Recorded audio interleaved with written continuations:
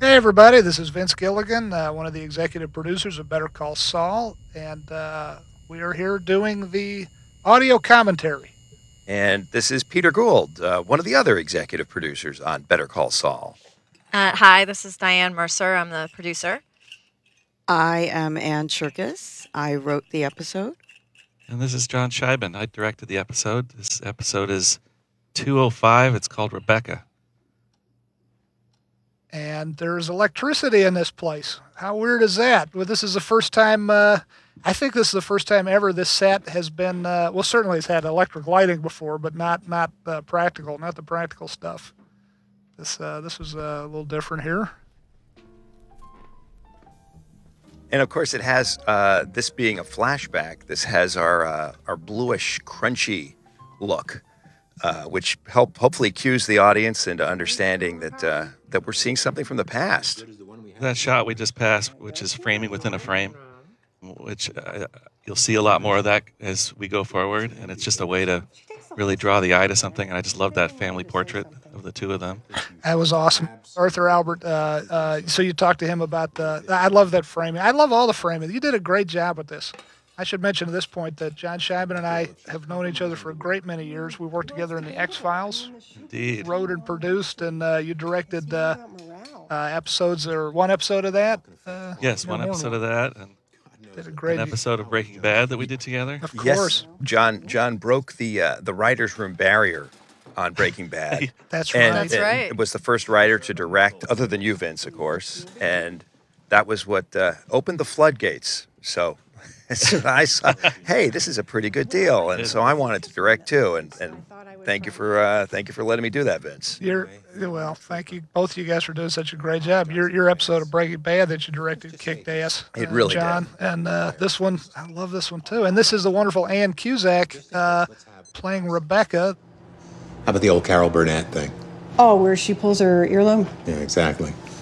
You do this, and I'll say I have briefs to read, and we'll get rid of them. All right, whatever you want. You know why she did that, Carol Burnett? It's a great story. It was a signal to her grandmother who had raised her. She- Seriously? He's early. You're a doll.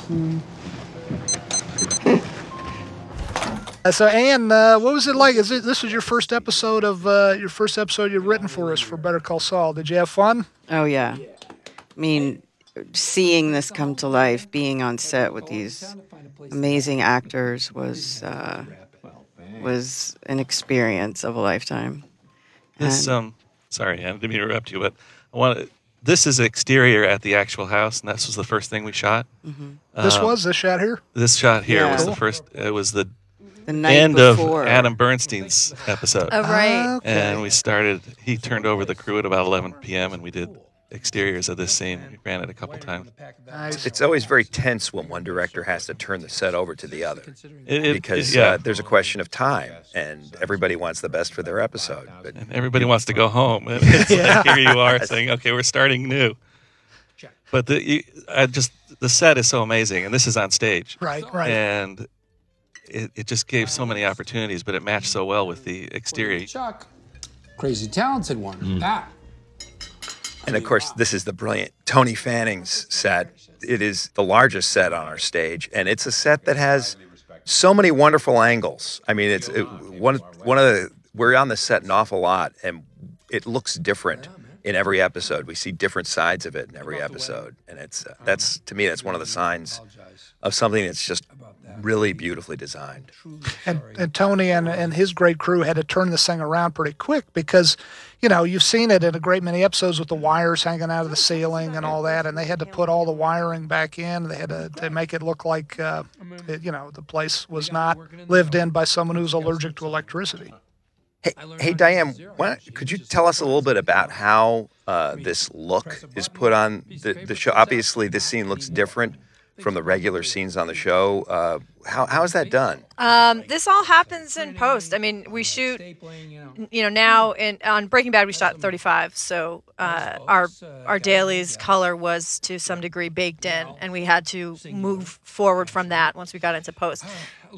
But now that we're in the digital realm, um, this we start from ground zero when we go into our final color. So we have one look on the dailies, and we kind of live with that. But we always knew that we wanted.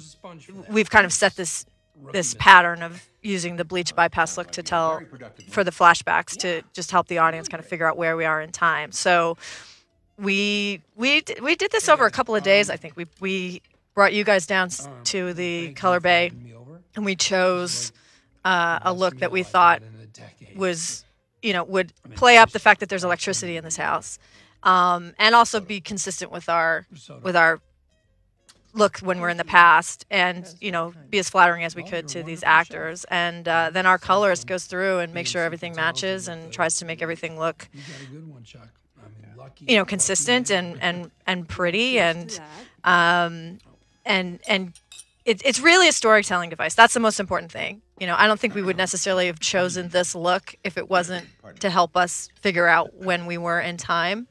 Um but it, it really does help i think when you're trying to watch the story and understand the story. And do you want to talk a little about the? Uh, uh, I don't think these two gentlemen would mind. There's a little bit of dig- dig- digital magic done to bring uh, on on uh, Bob Odenkirk and Michael McKean here to to, to bring them uh, eight or ten years uh, there younger. there is yeah. And um it, uh, it's i i don't know if people really know that that we do that because we try to make it as invisible as possible but every single shot in here of chuck Every single or jimmy every single shot in this, in this entire teaser. teaser has just a little bit of it's basically a virtual plastic surgery is kind of how we we think of it you know we kind of lift their eyes a little bit. sometimes we do some work on the forehead as well just to make them look you know because we're trying to sell this as 10 years, 10 years. earlier. Yeah. um, and so but we don't want it to look distracting and weird so we we try to kind of strike a balance of making it look as real as possible.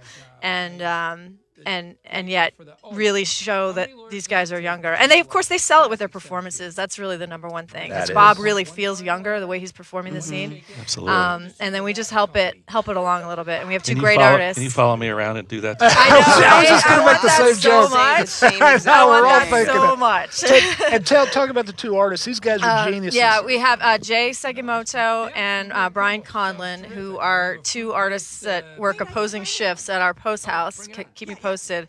And uh, they kind of developed this look last season when we did a couple of flashbacks, and we were really happy with it, what they did. So they kind of split the scenes and split the shots, and um, and they the two of them did every one of these. And, and you know, when we talk about things that are done digitally, I, I think uh, there can be the feeling that it's a matter of pushing a button and then suddenly they get younger, or pushing a button and then things change. The truth is, the digital side of it is just a tool, and these guys are artists, Yeah. and it's because they are so subtle. And there's a there's you can go too far. I'm not going to mention oh, any examples, but I've seen it. People going too far and actually On other shows. on other- other shows and other movies where they actually start altering the performance and it doesn't feel natural. And these guys uh, key into the performance and keep it very natural. And I, I just couldn't be but it happier is, with their work. and it is not a button you push. They're doing it frame by That's frame. right. Yeah, I it's mean, frame these by guys are frame. It's geniuses. very, very, uh, it's very painstaking. Um, I have to ask on this um,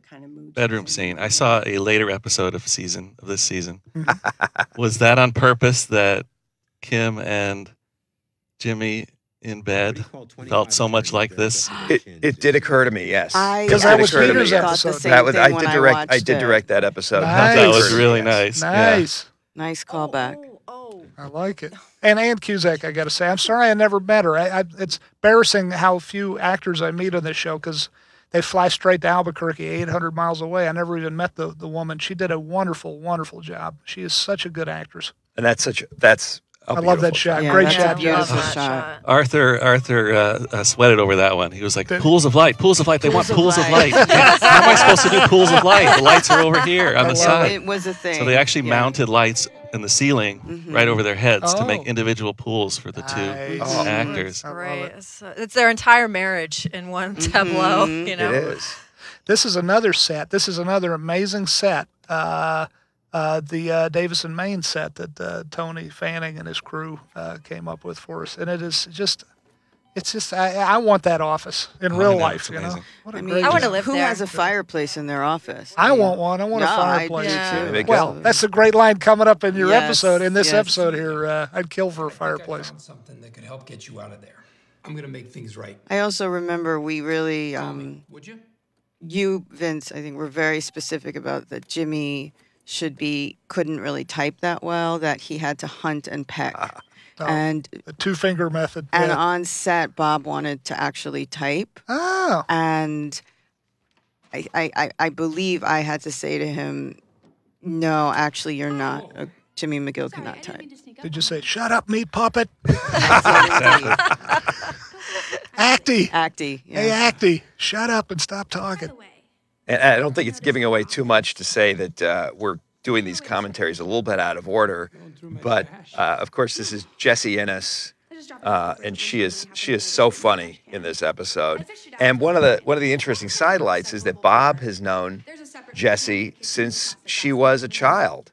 Because she is John Ennis's daughter, and John Ennis uh, was one of the regulars on Mr. Show. Yes. And so these these two have known they, these two have a long history together. That's that's not why Jessie was cast. She was cast because she was just she was the, best. She was the best.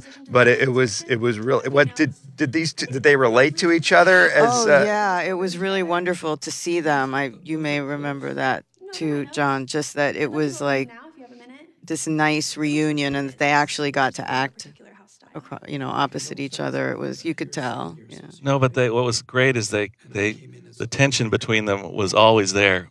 The minute we started rolling, Uh-huh. it was like they were not friends anymore. Yeah, yeah, yeah, I yeah. love it. Hey, I was uh, uh, I interrupted your story with my dumb joke a minute ago, but uh, what do you do in a moment like that where the actor has one thought about like the typing speed Right. and, and you have another? Well, in this case, I do remember when we talked about it while we were breaking the episode that you you said I really want him to be a hunt to hunt and peck. Yeah. And so I just, you know, again, having been in the room, I just said to him, look, that's, you know, we discussed it and that's what Vince and Peter wanted. Well, and, and it's interesting, and thank you for, for looking out for us. Of course. And it's it's an interesting thing because uh, I've been in those situations where the actor's right, and Yeah. uh, and and the truth is, you know, they always and they always should be. And thank you again. Thanks for looking out for Well, our. But but sometimes we're wrong. So yeah, yeah. and Bob, you know, could have very well said to me, "Well, I disagree," and then, you know, I don't actually know what we would I would have done, but um, you know, he was very accommodating as he He's a great guy. usually is, and and I And think it works great. There's all there's a lot of give and take. There is. This whole job is all about give and take. Yeah. See you momentarily. No, it's truly a collaboration. I mean, the, these actors are keepers of their characters, and, and they're very passionate about it, and so you have to respect that.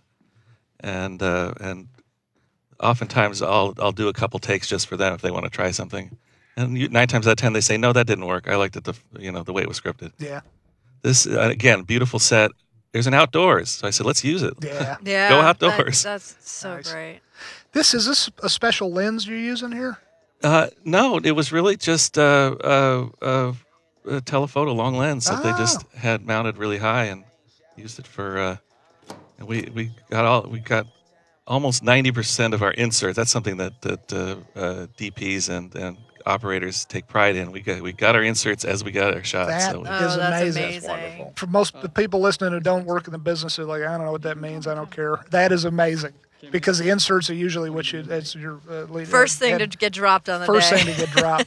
And, and, Close up of a piece of paper, you get that in another day with another crew. and, and the thing is, it, it might feel like it's inconsequential about whether uh, it's it's really the actor doing the action. But the funny thing is, is that uh, the uh, someone uh, Rhea Seehorn acts with with she can act without being present. She can act Yes. just using an overliner. She will use the overliner differently from just a member of the crew who's trying to who's trying to do the shot. So it it makes it makes a difference, and you can feel it. It's easier to cut actually uh, if if the A unit has has done some of this stuff. So in other words, that's really her her hand. That's really her with the, hand, with the indeed. highlighter there. Yeah, Now, you see this gap in between the two tables there. yeah. That was a, a big discussion of, of, uh, about that gap. Oh yeah, really? because w- one thing you have to do when you have a new set and uh, you do blocking and you bring your actors in and you walk around it and it was problematic to have uh, actors on different sides of the table because they had to go all the way around to the end. The tables were together. There was no gap. Right, Right. right. So we came up with the idea: can we can we get a second? Can we break this in half? And it was like perfect. That way we can move the camera back and forth across the room. They can cross there. It makes it more interesting. It also makes it easier just blocking. That was That's smart. That's interesting because, of course, I think we did see this set in the previous previous episode, and so it'll be interesting to look at that and see if if that's if this break between the tables was introduced. It, it Yeah, I because Adam, it. I, I said, I think I need a break. And they called Adam Bernstein over, who was still shooting. I wasn't prepping. And I said, he hadn't shot it yet. And he, he looked at it and we talked about it. And he said, yeah, that's great. Let's put a break in there. That This was, is that was mis- smart. That was smart talking to him in advance. That's and you know, so much of uh, directing is thinking ahead and being able to to to see around corners, and that's a great example, John. Just to, to really think through what you're going to shoot and ask for things early. That's a great Yes. point. And it, it's a lot of times people tell you, nah, directing's about thinking on your feet and rolling with the punches. And that's true. But the best thing you could do for yourself as a director is to think ahead and to try to be a chess player. Think as far ahead as you can. You're, you're still going to have to roll with the punches. Punches are always going to come. But the more you can plot out in advance, like John was just talking about, the better. This scene is really was really interesting. It was it was a struggle. Um, both actors felt they wanted to get something more than just not my area of expertise. Kim rejects Jimmy's idea out of it. And we rehearsed it and we worked on it. And Bob came up with this, and it's very subtle. But if you watch it at the end when she turns on him and says, I save me, his his reaction is almost pride in her, like almost like, wow, you're. And, and it's very subtle, but I really like it. It makes it quite a difference than just I've been rejected. Yeah. Uh, that's that's a great point. To me, this is, and tell me if you agree, Anne. This is a pivotal scene uh, in the relationship, and in some ways in the season, and maybe in the series, because she has great affection for Jimmy, but she's also independent. She wants to be captain of her own ship, and and, and like you say, John, he he respects that, although he may not always honor it. Right. What, what do you, Andy? You want because this has you have some of the best dialogue. I, I just love some This of is one of my favorite here. scenes we've yes, ever me too. done. I mean, when when I wrote it, um, I mean, I had no way of knowing that it really did end up being kind of the theme of. Well, it really ended up embodying her entire character this season. It really did. You know, you don't save me, I save me. It's right, a great line. and that you know wasn't my intention. I mean, it should, probably should have been, but you know, I was just writing the scene. Actually, it shouldn't have been because Yeah. the great those those great themes, those great. If you plan them in advance, they're That's just true. it's it's not gonna. It doesn't feel organic, maybe. I mean, I, I remember uh, my, I was working with Michael Mann years ago, and I said, "What's the theme of this thing we're working Mm. on? What's the what's the moral? What's the point?" And he just said, "Just tell the story. Right. The, the, the Yeah. moral, the theme, all that stuff Yeah. will find itself later, and, and and maybe it's not even for you to say. Right. No, It's for you to absolutely. And it was it was after the fact, after people saw it, that you know they picked that out, Yeah.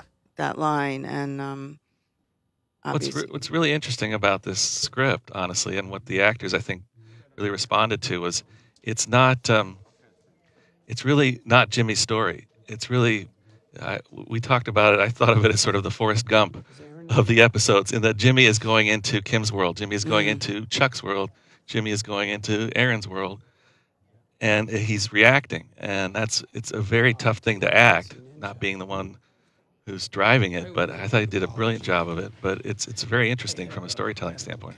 no, it's a good point. And and Bob is Bob is a generous actor. He's somebody he he's not he's not the guy who's counting how many scenes he's in No. or is subtly trying to manipulate things around so everything's about him. He he's really interested in, in helping and in telling the story, and he is a storyteller in this. And then mm.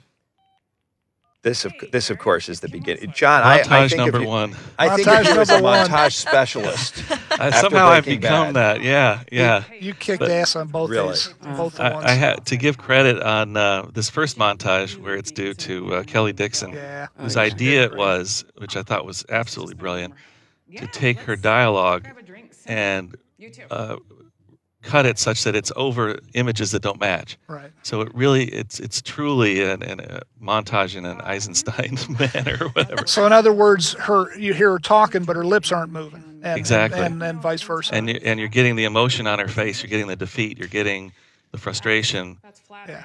Yeah, Because it's not important what she's saying. What's important is her emotion Yeah. and what it's telling us about her. yeah, beautifully done. Kelly really is. Uh, uh, she has come up with so many ideas on on Better Call Saul and Breaking Bad before that. As has as has uh, Skip McDonald, our other wonderful editor. That just stuff that they'll they'll show me in the editing room. They'll show us, and I'm just like, man, I would have never thought of that. Yeah. I love that. That's happened to me all the time. Yeah, this this season I think especially uh, this has been a montage heavy season for whatever reason, and I, I really think uh, Kelly and uh, Chris McCaleb and Curtis Thurber have outdone themselves. Absolutely. Fun fact about those post it. So, you know, I had to come up with these names. And I, I, I think I came up with about 20, 25 names. And a lot of them are friends of mine Nice. or people I know. And, you know, some of them made it through clearances and some of them didn't. That's But weird. the people that did end up on those post its were really thrilled when they saw it in the episode. That's That's good. very I'm cool, glad. yeah. That's wonderful. Well, phone numbers are tricky too. I mean, Yes. yeah, to show a phone number because you don't want to do the five five five thing because No. everyone knows instantly. That takes you out of the movie, and everyone knows I it's fake. know. Yeah.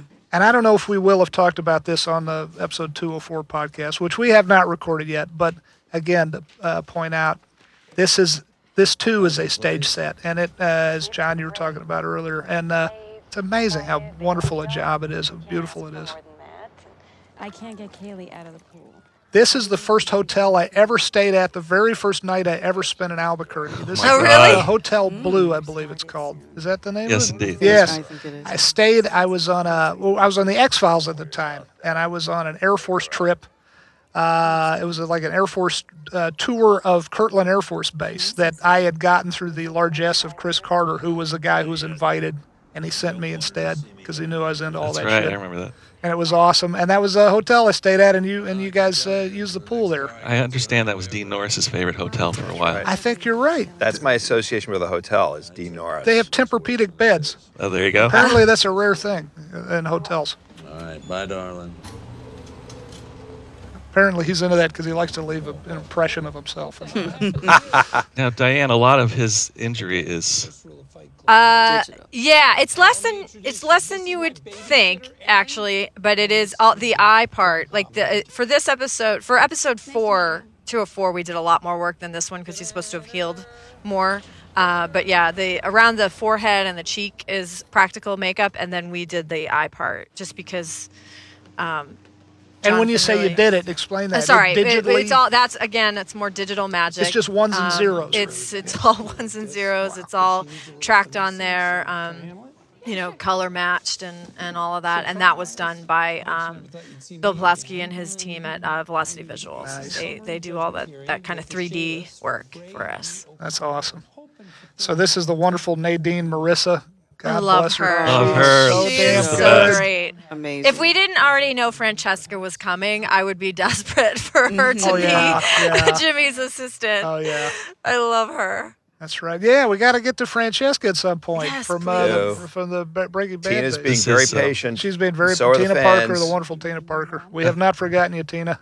that that uh, the bear, by the way, is known as the prayer bear Oh, Oh, is really? because its paws are together. Oh, It's- yes, we chose the prayer bear on purpose because nice. it seemed Excellent choice. the best. she it? That wants guy that owns. bear. That guy owns all of Montecito, California. I know it's crazy. From from those stuffed animals. Mr. Beanie Baby. Beanie, Oh beanie God. baby. That's right. Ty, uh, um, It was fun seeing them Ty again. Warner. Actually, Ty Warner. It's been such a lot. That's it's what like you want. They've You want- just disappeared. You want that there, Beanie Baby money. thank you, Mr. thing. Warner, for letting us use the prayer. Yes. Yes. Her Because they look, get a say though, in that. They get a, Yeah. she is so. She's so great. God. You know, we end up cutting to her more because she's She's so, so good. she's I know so her wonderful. reactions. You know, that's Look not at this scripted. right here. It's great. We'll take it. Uh, she wants that bear and she hates her. I know, Yeah, she's so yeah. good. I love the glasses too. Give me that bear. I feel that Erin's going to have some trouble with her in the future.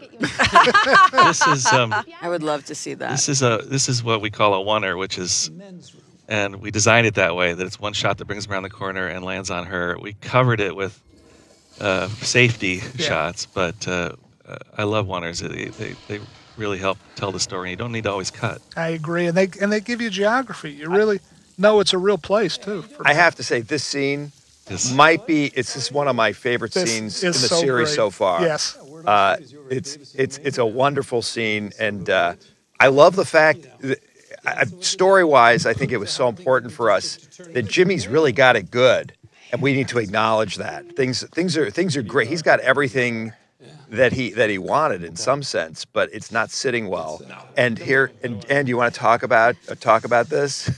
I mean, uh, you know, it was very fun. It was fun to write. It was great, but then to see it, you know, come alive, especially with the wonderful Peter Peter Diseth. Diseth. This guy is so goddamn funny. very I love this talented, guy. and he he gave us so much, and he did different little things on different takes, and Well, and you see this move he just made, which was something that came out of rehearsal because Omar. It's it's it's such a great line reading. Oh yeah, that's, That's vomit. vomit. and uh, and Peter Peter of course has appeared in two other episodes of uh, Better Call Saul. Back in season one, he was in the montage that uh, Petty with the Prior montage, and I remember Bob saying, you know, this guy's really good. He's he's a local actor in Albuquerque, and Bob liked him, and we liked him, and so that's one of the great things about series television is. Uh, you see people who, who you like, and if, if it fits into the story, you can give them more to do. Because you guys really, you, you kind of wrote this for him. I Yes. Oh yes. Yes, I mean once once whoever you know someone had the idea of okay maybe this should be Oakley, Bill Oakley. I didn't I didn't realize just how funny he was going to be though. No, I Yet another yeah. actor I've never met. So God Yeah. bless Yes. you, Peter. Great job. great job. And, and also thank you to uh, thank you to production for putting the uh, courthouse bathroom set back up for that one scene. Yeah, that was a set. That was a That was a set, set. from That was from the pilot very realistic. that I. Yeah. don't think we've seen since maybe episode three of season one. So it was sitting there on the the scene dock. And now here's John. Here you go. And this Here's- is this was your musical selection, wasn't it? Yes, mm-hmm. indeed. I found this, and I'd never thought we could get it. And thanks to Thomas Golubić and company, and you guys for getting it. Doing this montage was great, but we, we had to, production wise, we didn't have a lot of time, but you have to get all this footage. So we basically broke it up into four different sets and four different wardrobe looks and ran poor Rhea around. We'd shoot in one set, we'd shoot the next set, we'd shoot in the conference room, in the bathroom, and then we'd, she'd change, then we'd go down to the rain. and the and rain was do- fake. Right? And the rain was fake. I mean, it was real water. rain but was right outside the, those yeah, windows yeah. there. Wow. Um, and they put rain towers all on the top of that building. right. Which which we've never done before, Never at done least that. on this never. show. Yeah. we used to do it all the time on the X Files way back when. Yeah. But, but not now. Yeah. Was this an entire day, or was this more No, than this a was day? less than half a day. less than half a Jesus, day. Less than half a day. That's We- amazing. It was Holy like shit. film school. We were running and gunning. Oh my There God. were and by the way, I got to point out before we get too far past it, that is a real bathroom she was in, and it has floor to ceiling windows. And I don't know who the fuck designs a bathroom with floor to ceiling I know. But it's gorgeous. That's a real place. In in case you're saying, I why, used that's that. Why are there crazy. windows Yeah, it in looks there? like a conceit. It's like insane. Yeah. But uh, uh, this this montage is so great. Gypsy Kings got to give a shout out to the song uh, that that you said that, that you found for us. A mi manera, uh, my way, obviously uh, uh, in Spanish. The, the, the, of course, best known as the Frank Sinatra hit. Yeah, I like the Gypsy Kings version better better though. I got to say. Yeah, so thi- this was a song great just- call. Uh, great. Uh, I'm sorry. Yeah. uh, Oh no, we we- we because we we looked at other things for this many. this, this moment, but uh, this just had this great emotion and drive to it that it worked better than anything else we put here. Yeah, great know? choice. Yeah, I love this shot by Mm-hmm. the way. Looking down the stairwell. That's Uh, so many great so many great shots in shots here. In this one. Yeah, because I remember in the script I had written in the description sort of the t- I want the tone, the feel of this, and it was more uh, depressing. You know, we sort of wanted it to be this grind and see her. You know, And you still get that. You Yeah. do, But there's kind of a triumph to the there Exactly. is, which I really like. Yeah. Yeah. Well, I think it sets up Howard's betrayal better. That she's she's working so hard and Yeah. she's so passionate about it, and Right. then she gets a win, and then boom. Yeah. Right. And, and I've been Very well done. lawyers have told me this is uh, in a lot of ways the most realistic thing that we've done and the most realistic Mm-hmm. uh, view of big law. I don't know whether that's true or not. All if that's true, I'm sorry for those of you working in big law. I This- know. Yeah. But that's it should be said. That's the document review room, the doc review Yes. room, and that's And that is a big part of big law that you're seeing, or probably any law where you got to review documents, and it just sounds like hell on earth. Well, after my father uh, Great shot. I love this said. Love this told This me that he liked, he said it was authentic. It was a little too nice, though. Oh, a little too nice. Okay. Well, apparently they do a lot of it on computers now. But keep keep in mind, lawyers wa- listening to this, this is 2002. Right. So this is not, you know, this is a period piece as we as we shoot this. This has uh, two of my favorite things. It's a oneer, and it also has a frame within a frame, obviously. Yeah. Oh, it's Um, such a beautiful. We, we did this several times, and we did a shot to be able to cut to, but uh, the last one we did was this one, I think, and it was uh, we we had to time it so that we because we knew we only could be on screen so long, so it was like go, dance, leave, Do your happy dance quickly. do your happy dance. She's so- Here's she is the so uh, uh, Rain cute. Man shot. That Oh yeah, I- yeah, right. The Rain Man. And you know, you know, one thing about that is that Rhea, like a lot of our cast, acts with her whole body. Yes. Uh, and and if you're doing a, a- a show that is all big choker singles, you miss that. I mean, you look at Look her at- hands. Yeah. She acts with her hands. She acts with her feet. I love the way Patrick Head to. Patrick does too. I know, Yes. I know. And he's Oh, man. positions himself. Yeah. and and uh, an attentive director will will uh, will back up a little bit and and get get that great stuff. Yeah. Great, great stuff. This is Rex Linn and Kara Pifko, Kevin and Paige. They are both wonderful actors. They do a great job, and you'll see more of them in other episodes. I, I got I was very lucky to get to direct them a little bit later, and they they're both wonderful. I, I think Kevin's best work is coming up in this show is coming up uh, in your episode nine. Yes, Yeah. he's, he's great. He's, he does, and they're both wonderful. They both do a great job. What the heck else is money good for when you're seven years old? Crazy bathroom aside, with the plate glass uh, floor to ceiling window, this this whole uh, uh, uh, series of office buildings that we shoot at in Albuquerque, and this this building is actually a separate building than the building with the uh, with the uh, uh, HHM uh, conference room, but it's all in one big uh, office park, and they've been very nice to us. Uh, thanks to the folks who own this facility and the folks uh, uh, renting offices from it, who are very understanding of us coming and coming in and uh, annoying them. Hopefully, we're not annoying them too much. They, they've been wonderful to us, and uh, all this office space looks great on film. I, I This love the fact that uh, Hamlin Hamlin McGill has its own flag. Well, I'm, Yeah. I was going to talk about. I'm very proud of that. That was my that was idea, and it started as Yeah. a callback, honestly, to Sunset, the episode of Breaking Bad that I directed, Oh, which had a flagpole in the Of beginning. course. Yeah. But we were there at this location, Mrs. and they had a flag. Pecatila's house. Mrs. Pecatila, you remember? yeah.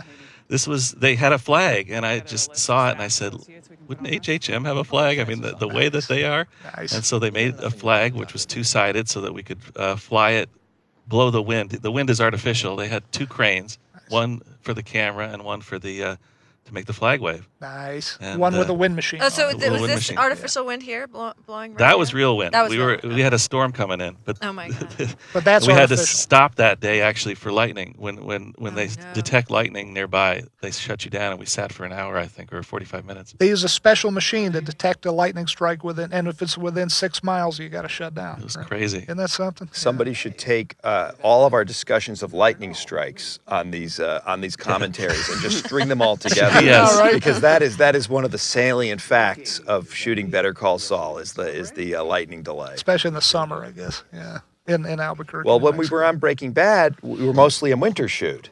Yeah. And so we weren't familiar with uh, the lightning delay. That's true. Al- uh, New Mexico is a beautiful, beautiful state that is uh, where nature is just primed to kill you at any second. That's just the way it is. You got to be tough to live there. Oh, and Arthur Albert, look at that. Yeah, it's beautiful. Yeah, this scene is It's- beautiful. One of your golf courses. One thing that makes it a little little uh, different to shoot in that set is that one of it, Arthur uses atmosphere. He uses smoke in this location, and uh, that means sometimes uh, you have to wait for the smoke to settle a little bit. There's a little bit, a little bit of extra, a little bit of extra time, a little bit of extra effort because of the smoke, but it is worth it. It just brought back memories because we we smoked every scene on the X Files. That's right. That's right. Nine right. years, That's right. everything was smoked. That was Canadian smoke, though. You, you didn't It's use it in seasons the one through four, and then the rest of it was smelled Los like Angeles smoke. syrup. Nicer, nicer smoke, more friendly. You didn't bring you didn't bring Canadian smoke when you moved uh, when you moved back We- we- back to LA. We probably did. Did you use smoke in the teaser of this episode when when the lights were on? Yes. You did. Oh wow. It looks amazing. It's tricky because, like Peter saying, you got to get it just right, which means you don't want to see it swirling around in the lights. You don't want to see visible smoke. You just want a little haze. Which we have seen and we have occasionally cut around or Those- fixed. Uh, digitally fixed. That's once in a right. There are all those movies from the 80s that always look like every bar is on fire. Yes. Uh, you know, you feel like the smoke alarms are about to go off. Right. Oh, was this uh this supposed to be early early morning? Was this just like uh, just after sundown in real life, or what was? It was it was uh, it was probably nine or ten o'clock at night actually. And uh, what's interesting is is you know has been said many times to play darkness you have to actually light it, and so our, they did a terrific job of lighting this so that it looks dark. Believe it or not. This shot. This is a great magic. shot. I love this shot. shot. You and Arthur, man, you guys are a good team. Well, it's it's it, you know when I read the script immediately and I saw the location, it's like it's perfect thing for that light going away. It just uh, really worked well. And for the light geeks out there, and I'm one of them, uh, that that in the old days, uh, in like an old Frankenstein movie, you'd have a spotlight following him up the. But that was practical light. That was that. Pra- yes, they make a special lantern that's got an LED in it, and it uh, and that lit the ninety percent of the set. wow. And Every once in a while, we use a real lantern, but it is a fire hazard Yeah. for us to carry around actual uh, actual lanterns with a flame in them. But there are there are of course great scenes where they actually light them up, and it looks great. But Yeah. now the LED ones look great too. More like late. well, regardless of This scene coming up is like a master class in acting. But uh, these two Absolutely. are so damn good in this scene. Michael and Rhea. They are so good. I love this scene. And great job writing it, great job directing it. This is wonderful, wonderful stuff coming up. no, thank you. And now this is a set. This is uh, this is an indoor set on our soundstage. Most everything else in HHM is real practical locations in that office park. I was the office park, by the way, which you could almost literally throw a rock from it to the very first soundstage, quote unquote, we used on the pilot of Breaking Bad. It's over off of Jefferson in, in Albuquerque, and, and it was where we shot uh, uh, the White House uh, on the pilot of Breaking Bad. It was an old warehouse. It wasn't even a soundstage, and that's within an easy walk of this of the office park in this one. Now you should know that that behind them, uh, through the windows, this is a set. That's what's called a backing. It's a giant photograph, basically spread around, and that's of Los Angeles.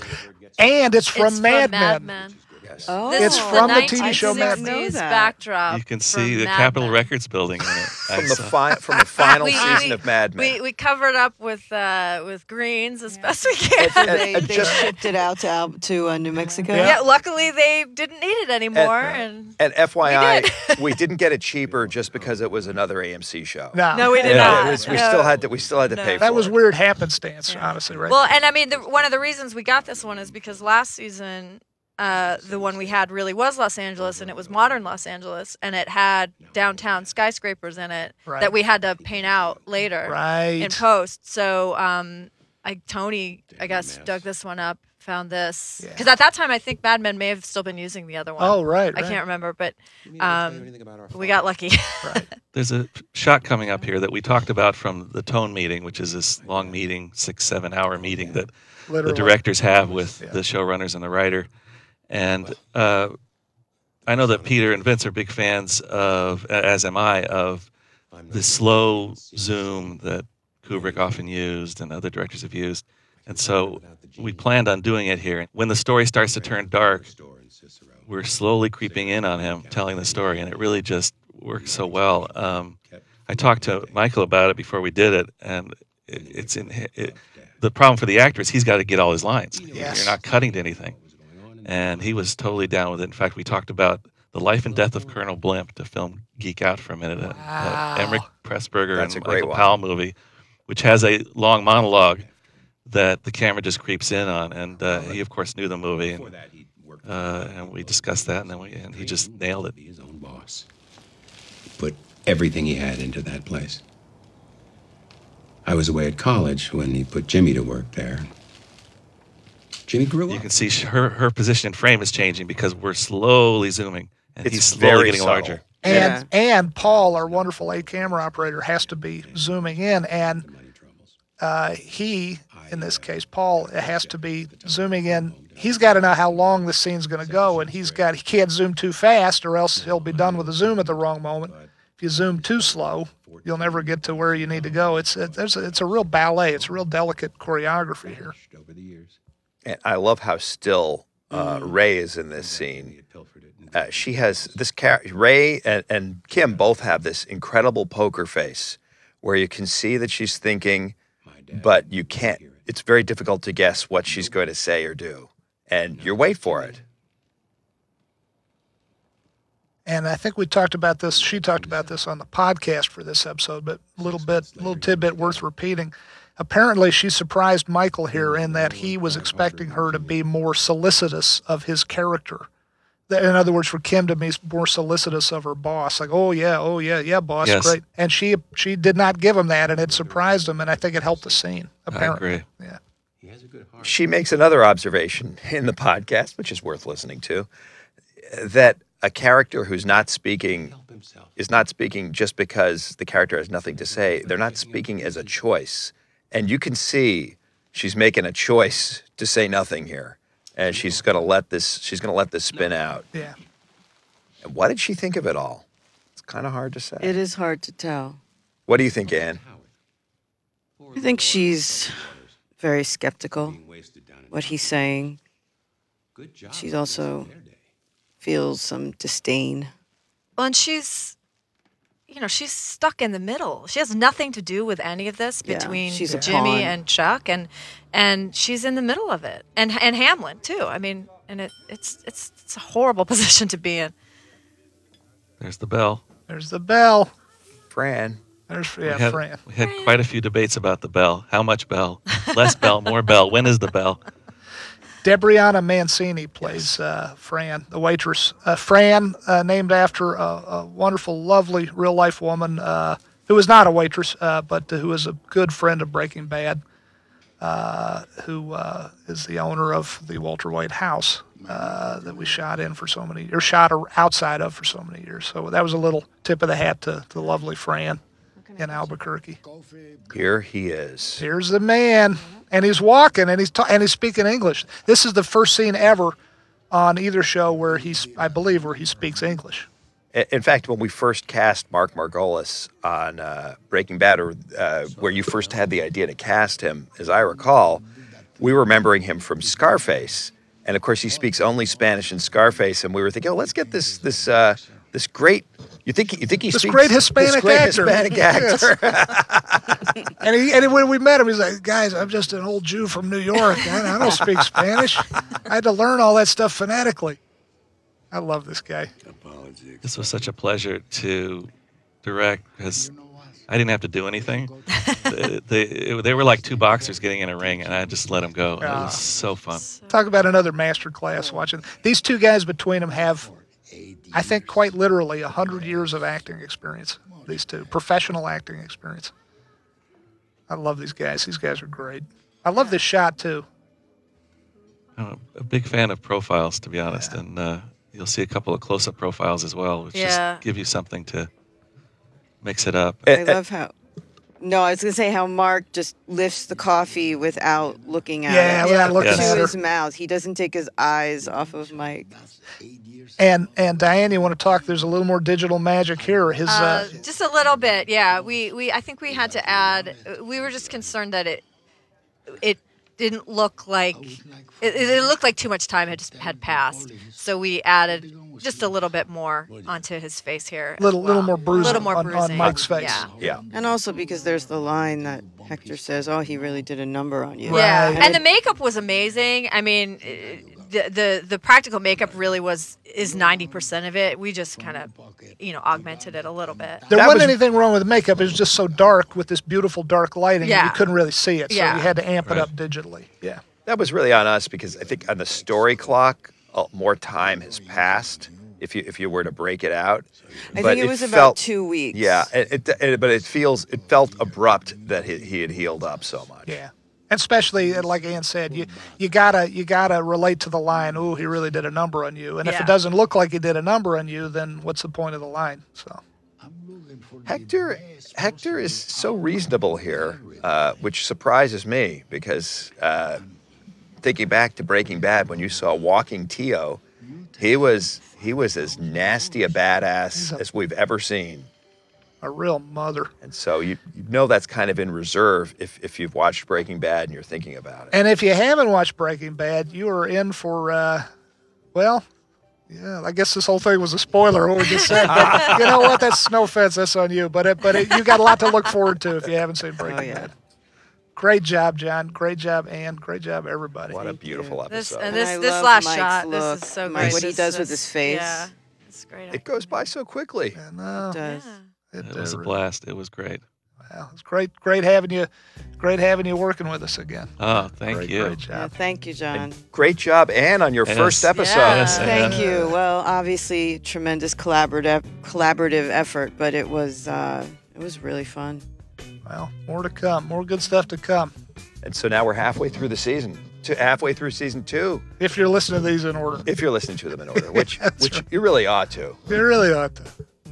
All right. Thanks for listening, Thanks, everybody. everyone. Thank you. Thank you. Thank you. See you next time.